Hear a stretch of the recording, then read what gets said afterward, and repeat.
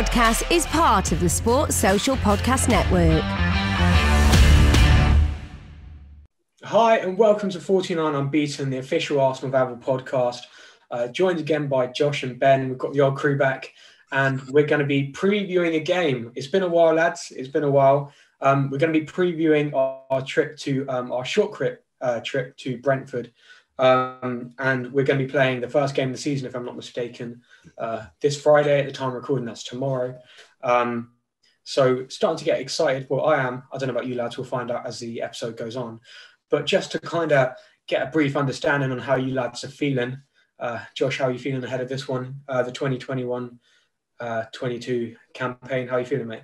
Uh, indifferent. It's good to have football back, Arsenal back, Premier League football back. It's sort of enjoyed the Euros, but then that time off was a bit bit dull. But then I first time I can remember, obviously in my life, that we've not had European football sort of grown up going to yeah. Champions League nights and enjoying it. More recently, obviously, watching us in the Europa League. We've, we've not got anything. We're sort of quite boring Thursday nights now for Arsenal fans. Um, so I don't know. Hope I, I, I really hope we can push fifth or sixth. I think that needs to be the realistic aim. But preparing up myself for another season of hurt and heartbreak when it comes to Arsenal. I mean, hopefully not, mate. But um, Ben, how, how are you feeling? How are you feeling more specifically about facing Brentford um, uh, tomorrow? Um, I think apart from sort of Man City, Man United, Liverpool, and Chelsea, probably one of the hardest games we could get. I think. I think promoters as always want to start either with a really easy game against one of themselves or against one of the big boys. Mm. Uh, and I think going away to Brentford, I think they play some exciting football. I really have liked the look of them sort of following the championship for the last couple of years. Um, hard. I missed out only just the last couple of years. So I think they deserve it. And they'll be right up for it. And they'll put us to the test. They really will. And it's, I don't think it'd be an easy game. I don't think, I think if we would have played someone like Norwich, I think everyone would have fancied us. I, I don't know whether it's the same feeling this time round. Mm, yeah, people forget it's a massive occasion for Brentford. Um, if you look into it, Brentford, this is their first game back in top flight football in 74 years. And um, I don't know if you boys can guess, but the last game they played in top flight football in 1947, have a little guess who their final game was before they uh, went down. Probably beat us 1 0 or something, didn't they? No, we beat them 1 0. Ah, fair Which, enough. Yeah, sent them down. So, um, again, I guess it suits the occasion. They get chance to um, potentially get one back at us. I know it's been 74 years, but um, still time for revenge. But Ben, how are you feeling about this one, mate? How are you feeling about uh, facing the bees? I don't know, to be honest. I think, as Josh says, they'll be right up for it. And um, it's going to be the first time back in their stadium. Mm. It's going to be the first time with fans back in the stadium for what, two years, best part of? They obviously had some at Wembley for the playoff final, but then this is going to be, I assume the atmosphere is just going to be raucous because, as Josh says, first time back, 74 years on, full stadium. They've got Arsenal under the lights kicking off the Premier League season it's all set up for us to lose, you know, 2 1, 1 0, something like that. but I think at the same time, I would rather play Brentford than I would like a, a Norwich or um, can't remember the other team that came up was Watford. Watford, it's, been, it's, it's, honestly it's been that long. So much European football I've, I've forgotten. Um, but yeah, I'd rather play Brentford. I think because exciting football, as we found out in the past, can often lead to giving up a lot of good chances and we're not very good at creating chances mm. if we're you know if teams just sit in against us. So hopefully Brentford will give us some opportunities to at least test their goalie. Mm, definitely, and you talk about exciting football. They've definitely got a very exciting footballer in Ivan Toney, um, a young English talent, uh, a striker, centre forward. Is he someone we've got to be wary of um, on Friday night, Josh? I mean, if you go based on his form at, at Brentford and at uh, Peterborough, I think you have to be wary of him. But Premier League football is a very different beast than EFL football. And we sort of saw that with Teemu Pukki. He sort of scored a lot of goals, had a great start to his Premier League career, and then sort of tailed off a couple of years ago. So I think you have to, I think you've got to look behind him and some of the players they've got to play him through. He's, he's going to be a danger. Um, be interesting to see how he steps up against our new centre back Um, he's always a worry, isn't he? And he's he's a great finisher. So of course you've got to be worried about someone centre forward, especially when they've scored 30 goals or something last season, whatever it was. Um, so yeah, but we were linked with him, weren't we? This summer, we sort of very early on we were linked with with him. He's an Arsenal fan. Uh, we looked like we needed a new strike, and it was it was a couple of links. Nothing obviously came of it. So I think he'll be right up for against his boyhood club. Yeah, definitely. Ben, do you think Ivan Toney is someone to to watch out for, or do you think Brentford's uh, threats come in uh, other people? Well, no, I mean you, you can't really dis- disagree with the number of goals he scored. Um, it's a bit like he won last season, something like that. So yeah, he broke the championship scoring record, didn't he? Yes, yeah. Um, what I will say is it reminds me a bit of. Do you remember Tammy Abraham at Villa? Yeah, three seasons ago. Uh, I think he got 24, and they've got this. They share the same characteristic, and the neither of them, I don't think, scoring from outside the box, um, which is quite interesting. Obviously, now we're linked with Tammy Abraham. As Josh said, we were linked with Ivan Toney a couple uh, couple of months ago, maybe. Yeah, right at the start of the very early on. Um, and he's definitely one to watch. But they've got, you know, Bryan Mbeumo is a very good player, very skillful. Um, they'll be, I think they'll be without Josh Dasilva for a while, which is. I believe he's out with a hip injury for this game, so he won't get yeah. to, to probably score against us if he was playing. Pro- probably for the best, but um, they're a very exciting team. I can't have, have, you know, I have to admit I haven't watched that much of them, mm. but what I have seen, I have enjoyed, and I, you know, I think they'll be a very welcome addition to the Premier League. Mm, yeah, they play a very kind of exciting style of football. I remember watching um, their run off, uh, run up to the playoff final. They played uh, Bournemouth in a game which was I remember just seeing it, it was a crazy game. There were red cards, there were goals, um, and then obviously the final playoff final. I believe they beat Swansea two 0 um, So Brentford will be an exciting. Um, exciting matchup, and there could there could be goals in this game. Is the way I feel about it. It'll probably be a one 0 now. I've said it, but um, I think there could be goals in this game. We'll get your predictions in later. Um, but just to kind of look into um, the game a bit more in itself, obviously, you touched on it earlier. We've got fans back um, in the stadium. There will be some Arsenal travelling fans for the first time in probably, or away fans, probably in about a couple of years um, at a game. Um, how much of an impact, Josh, do you think the fans will have on this game? I think enormous. And I think especially English fans, you could see how the Euros, it really, for the most part, worked in our favour. And it was good to see fans back in the stadiums and um, it really spurred it on. And I think that spirit of, of the tournament really helped. Um, I don't know, obviously, playing away, we won't have a, the biggest support. I don't, are away fans allowed back in yet? I'm not. Yeah, you know, I think so, yeah the away section sold out for this game. So I think we'll have we'll probably have about a thousand. I think I don't really know the capacity of Brentford Stadium. Um, I hope I hope it drives us on. A thousand, I'd say. I'd say you'd probably be looking at about maybe two and a half thousand. Yeah, so I, I hope it's I hope it's positive, but as we've sort of covered, Brentford's first game in their new stadium in front of fans, uh, Premier League for the first time in well, top division for the first time in 74 years. Uh, and I I think it was spur Brentford on a lot more than it sort of our away support, or as good as it is, um, will have an effect on us. So it'd be great to see live football with Premier League football with fans back in the ground. Um, but obviously, as a home game, it'd be much to the benefit of, of Brentford than it will be for us. Yeah, definitely. Fans back in the ground. Ben, do you reckon that's going to um, spur us on to get the result, or do you reckon the the Brentford fans could be a bit overwhelming? Because I mean, these players haven't had full stadiums, and even in these games, they haven't had full stadiums in in probably in about two years now. Since I think the last Arsenal home game with a full stadium was that West Ham game when Mesut Ozil was still an Arsenal player and got a, uh, an assist. Um, so, do you reckon some of these players could actually full on just fold under the pressure, and it, it could just be too much for some people, or do you think um, people should be okay with this? I mean, I, I think it's certainly a possibility, but I think that you know every every game you looked at last season, even if Sky or BT did their best to try and have you know the soundtracks, the fan the fans the fans make those football games. You know those moments where the reaction is immediate. It's not someone pressing you know play on a on a mix board or whatever mm. it is. Um, so you know the fans go back is going to be great for football. It's going to be great for Premier League football. And I think most of the players will be very grateful to have them back, as opposed to sort of not because you know playing it uh, they don't even have like the sound, so it's just literally playing in an empty stadium. It must be so disheartening Mm. to you know watch you like like watch your teammates playing in an empty stadium, no recognition for anything. And I can imagine that some of the players, you know, Aubameyang, for example, is one I think will really enjoy having the fans back. Mm. Nicholas Pepe too. I think they're both players that you know thrive off the back of fan um, fans being there and being able to spur them on. So I think that while there's a risk of it, I think probably the players will rise to the occasion more than anything. Mm, yeah, and also just on on kind of uh, this first game, we've had a obviously preseason.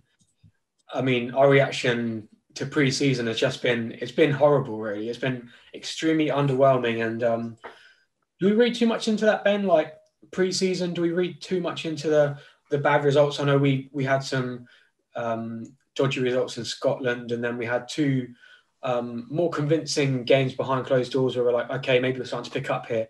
And then we lost to Chelsea and Spurs in the Mind series. Do we read too much into that, or is that an actual worry going into this first game? I think it's a mixture of both. I think that a lot of fans will read into too much the results. You know, I mean, Bayern Munich, I think, have lost or draw. I don't think they've won a preseason game yet. Um, so you know, we're in good company at least. Um, but I think that a lot of fans read into the results and say, you know, that's bad. But what worries me is more performances as opposed to the results. Like I could take losing to Spurs if we were the better team, and you know, um, dominated them for 85 minutes and they got one lucky shot and it went in. But the truth is, they could have scored three or four, we didn't particularly look threatening. And I get that, you know, it's minutes under the minutes under the belt. But we've been saying for 18 months, you know, Arteta needs a full preseason. We'll give him a full preseason, whatever. And I don't think we're seeing any significant changes, especially in sort of tactical tweaks compared to how it used to be, even with a full preseason, which is what worries me more than the results. Josh, I know you're very. Um, sometimes you can go a bit down the doom and gloom path with these things, and you can um, be despairing in moments. I think is um, a good way to put it. But um, are you not worrying too much? I mean, you probably are worrying, but are you? How are you feeling after these uh, preseason results we've had? Um, I don't know. You sort of look at it, and your sort of preseason is meant to be warm up to the real thing. And I mean, I remember a few years ago we beat PSG, we beat Bayern Munich in an international tournament. I think it was in the States or in Singapore, something like that. Um, mm. And we got really excited. I think that might have been our first year without Champions League football. The season that came after that, so yeah. it's it's hard to read into. But when you look at it, we're sort of playing teams of our caliber and that opponents we'd be expecting to face across the season. Mm. Sort of Rangers won their league, sort of doing well in Scotland, but Scottish teams never really recently have progressed into um, Champions League. So typically that would be a team we might, the standard of team we'd face in the Europa League. Um, didn't get the result we wanted. Lost to Hibernian, who again under that caliber that we think or we should be at. Um, Watford Premier League opponent, beat them fine. Millwall Championship opponent, okay, should be beating them, did. And then uh, probably our two biggest London rivals, we lost to and we struggled against. So it it's a fair assessment of our our preseason campaign that it wasn't where we wanted it to be. And I think you've got to read into it. I know some games were at the training ground, some games weren't. It, it's worrying. It is. It has to be. And I think I think although it's all preseason, it's getting minutes and warm up. It's it is worrying, and if we can't get a good preseason under our belts, it doesn't show us up for the best best of chances in the league. But again, it's not like we played 20 preseason games against every team in the Premier League and mm-hmm. sort of had a practice run at it almost. So you never know. But I'm not the most confident going into it. Let's just put it that way. Okay. Okay. Well, we're gonna we're gonna move on now. Um, we're gonna talk about the um, starting eleven with just a bit of team news, really. Um, the only three people we talk about here: uh, Thomas Partey. Um, Arsenal confirmed he's going to be out until the end of the month with an ankle injury. Uh, it's like ligament damage, I think Arsenal said. Um, so at the end of the month, he'll be back in training, and hopefully, I think for our sake, as the sooner he's back in the side, the better. But I mean, I guess it is a chance for Sambi Lokonga to, excuse me, to go on and make a stake a claim to Arteta to say, look, I'm good enough to play in the team. Um, Eddie Nketiah picked up an injury in the same game. Chelsea were really going in for us this game. Um, I mean, so was Spurs. that challenge Dele Alli put in on Pepe. Pepe, was yeah, yeah. Um, got- I think that was a red card in the Premier League. you think? I think he, yeah, he should have been sent off for that in the Premier League. Okay. With VAR, that, that would have been a red card in the Premier League. Okay. That was a horrible. Well, yeah. Um, Eddie's got an injury um, out till um, September. Early September, he'll return. And Gabriel, after his injury at the Olympics, which he didn't even play unfortunately, I feel sorry for him. He went all the way out there and then picked up an injury, I believe, um, in the training camps. So uh, Gabriel will also be back early September. Um, but we're going to put ourselves in the mindset of Mikel Arteta right now. Um, three brains combined. Can we? Um, I think we'll all kind of be pretty um, in agreement on this one. Um, but we're going to talk about the um, starting 11 for the Brentford game, what we feel the starting 11 should be. Um, so, lads, if you are ready, we're going to kick things off with goalkeeper. I don't think there's many arguments to be had here. Alex Runarsson hasn't exactly staked a claim to be our number one, but um, I think Bernd Leno and goal is uh, the right place to start. Yeah, easy enough. We don't have sort of any other first team level keepers. Runarsson's miles away and um, Okonkwo's only just been promoted. So unless, unless, unless there's a major injury today uh, or in the warm up tomorrow, it, it has to be Leno. It is criminal as well that we haven't signed a backup goalie, by the way. Absolutely criminal, given we knew from about when when was the Man City game? The Carabao Cup game? Well, that must have been February-ish. No, it was was That was the new year, wasn't it? It was in the new year. So we've known since then that we needed a backup goalie. And we knew if we, if we knew we weren't going to be extending Mat Ryan's contracts, Mm. we we've known for so long. And the way that they've handled the whole Ramsdale thing is a joke.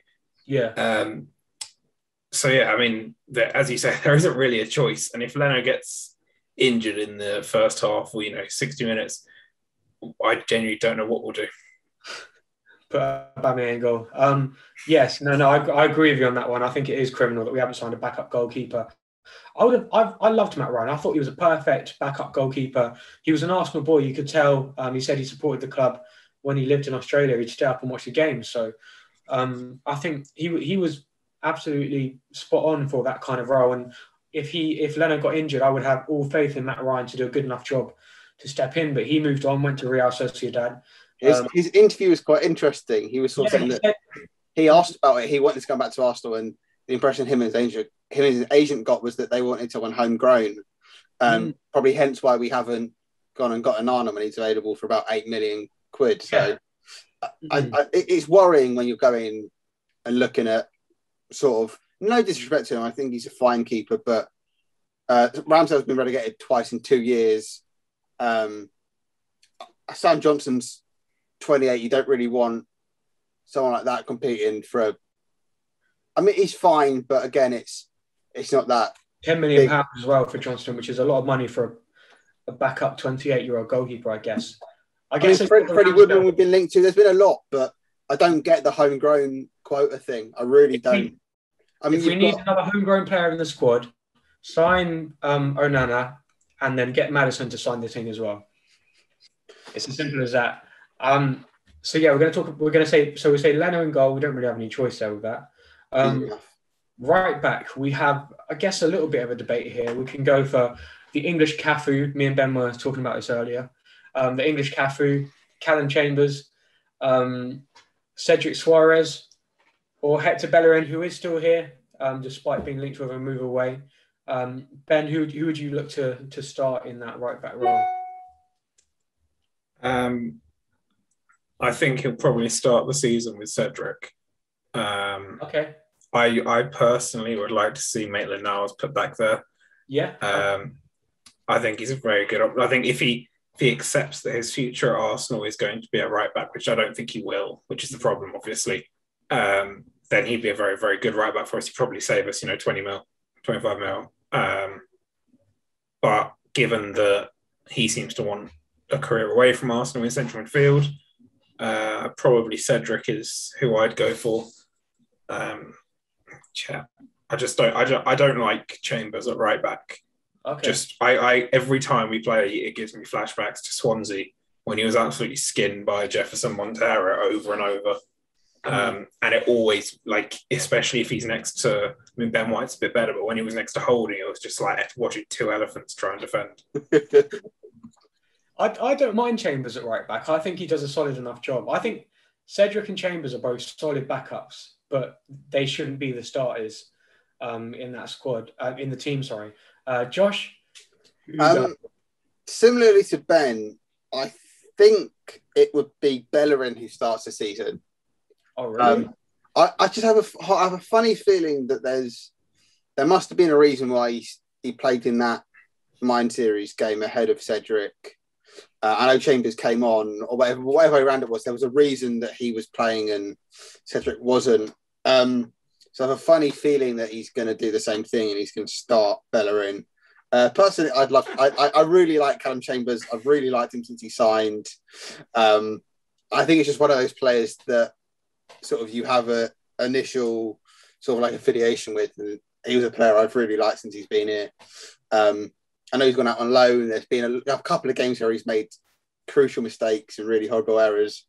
Um, but I really like him, and I think he proved at the end of last season why why he was playing. He was putting some good crosses in, and I don't know. It's, it's just something different, isn't it? We don't have a better option. So I'd, I'd, I'd love for it to be Chambers. I have a sneaking suspicion it'd be Bellerin.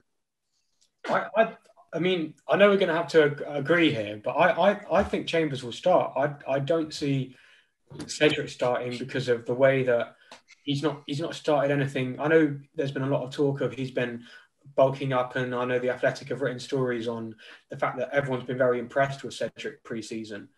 Um, I don't think Bellerin will start. Um, Maitland-Niles definitely won't start. I reckon. I reckon it would be Chambers, but we're, we're going to have to agree here, lads. Who, who do we think? I love, I love the fact that we have to agree. We've named four different right backs. we have four. We've named all four of them.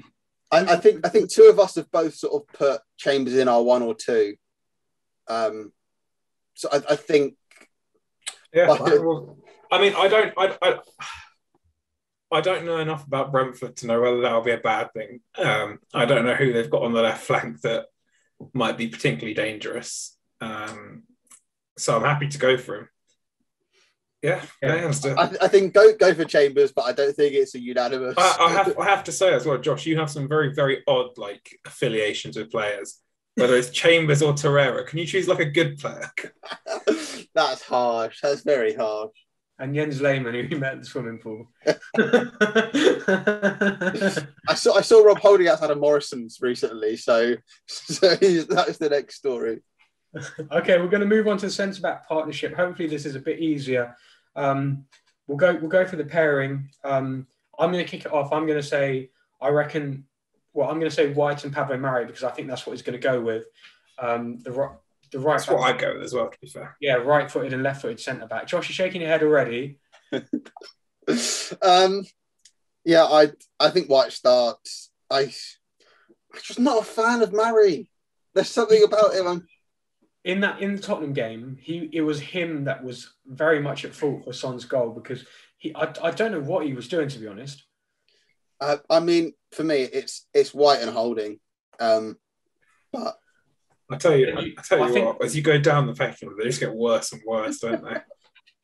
We'll, we'll, we'll say we'll say White and Murray just because I really do think that's what um Yeah, I think I think that's what I'll go for. just so because balance and you've got the right footed and the left footed centre back. Um, it would be interesting when Gabriel comes back to see if he still goes with that or if he goes with White and Gabriel. I just really hope that he doesn't try and play a high line because Pablo Mari, Pablo Mari looks like he looked fine last season He when reminds me, sort of. yeah, I don't. He reminds me of Mertesacker in ways like he's not a he's really not a fast player. Um, he's not as tall as well as Mertesacker, but he's um his kind of ability to judge situations and to prepare himself and get himself in the right areas does seem to get himself out of jail a lot of times.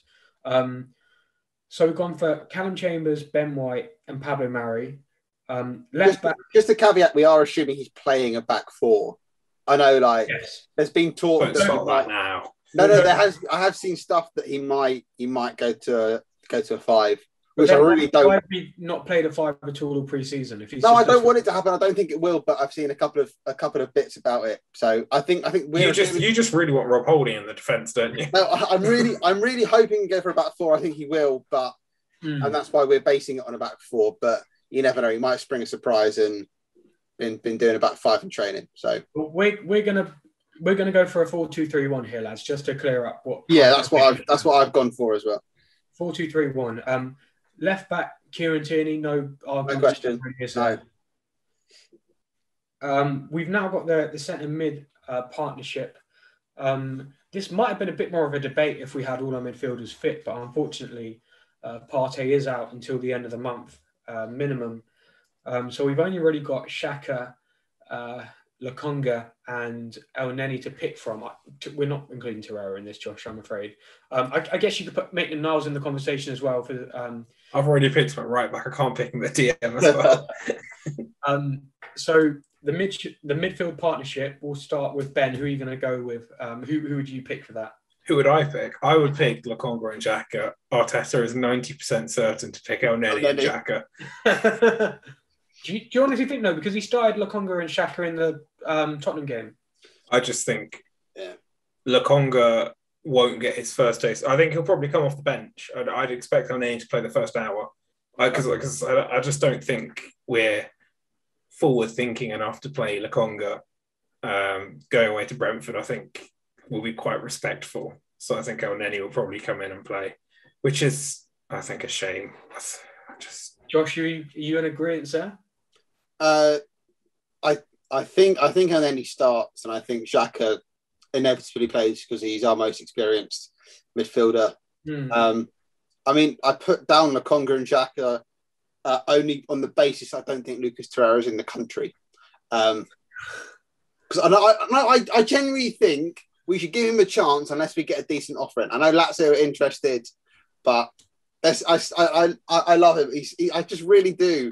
Um, so Josh, I pre- Luke, Lucas Torreira had a good time here, Josh, but I genuinely we need to move on, Josh. Like his, So, I- his I- I career's don't- been over for like two seasons. I don't think he's in the country, so I don't think he's actually eligible to play. Uh, but I agree with Ben. I think season with any kind of team. So it, it's a, it's an extremely co- confusing conversation, and the fact that in three weeks' time Lucas Torreira could still be an Arsenal player remains like kind of just a shock to me.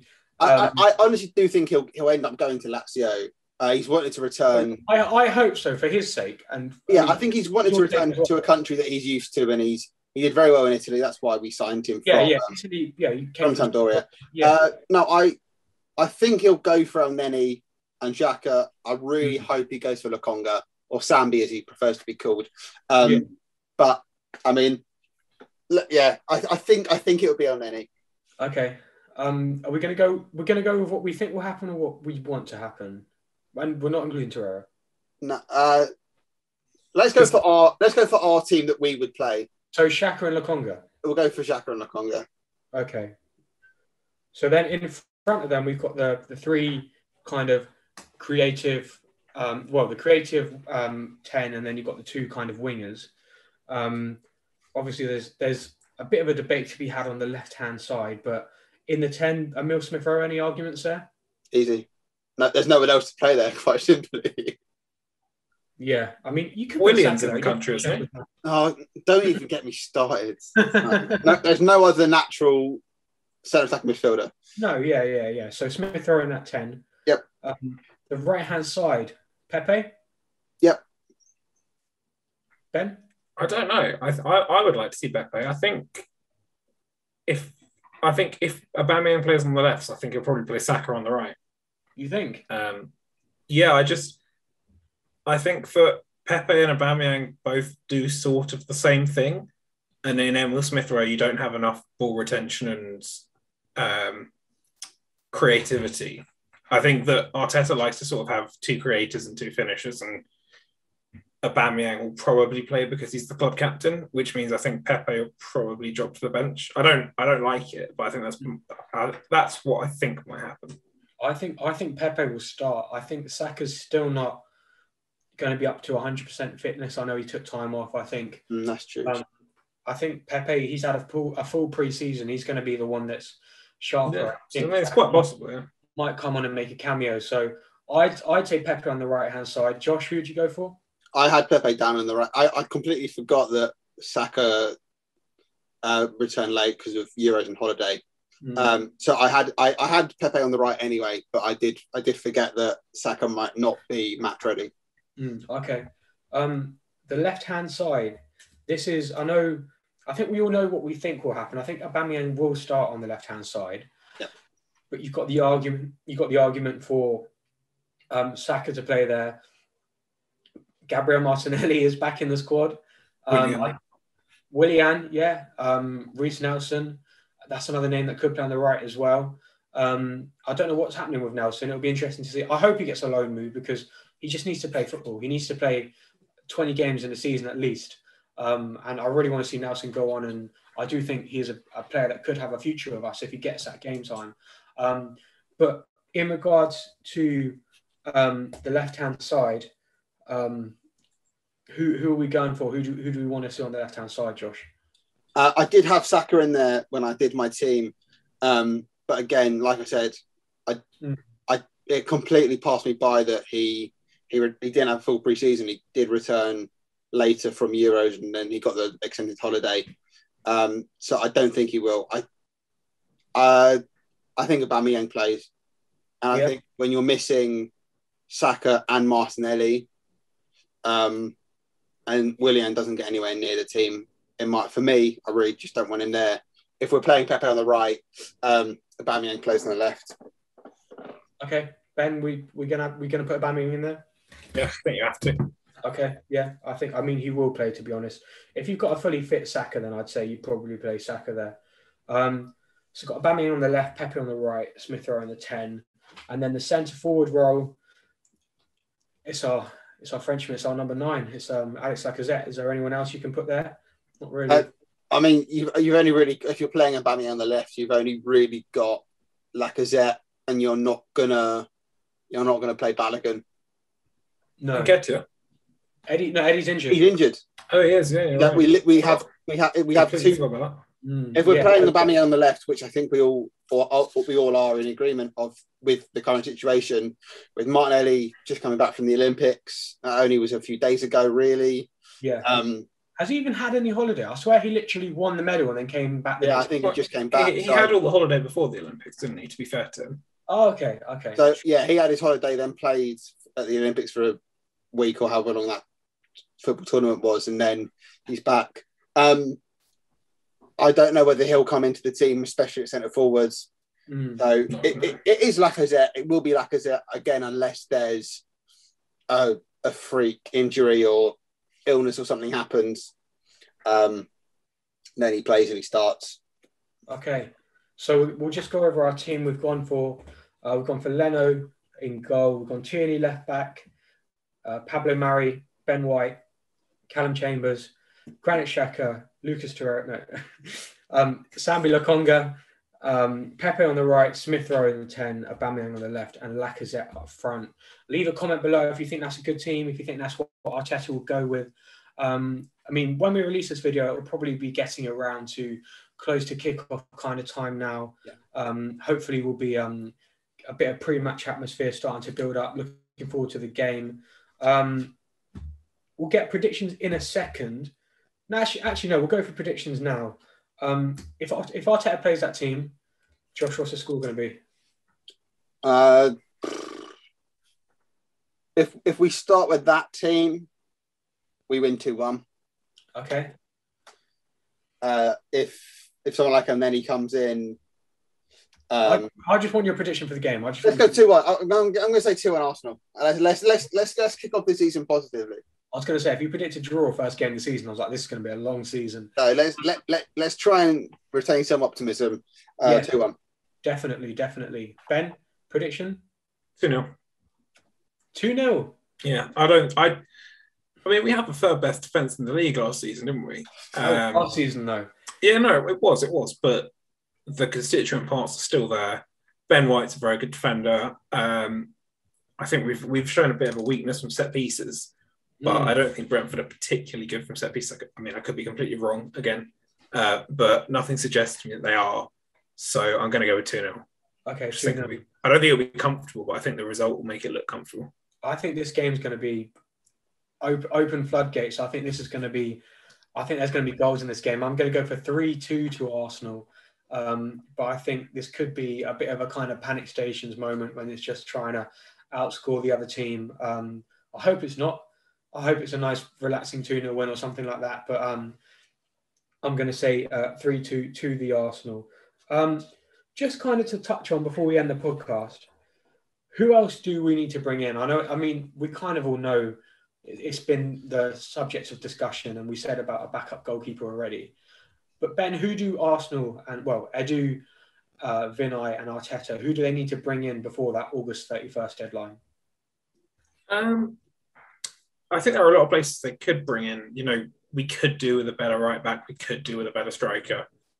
Um, but I think in terms of need, uh, we definitely need a creative midfielder, whether that be a number eight or a number ten, depending on what formation we go for next season. Mm. Um, we definitely need a backup goalie, as we've already said. And I still think I still think we need another central midfielder. Um, potentially a younger a younger player.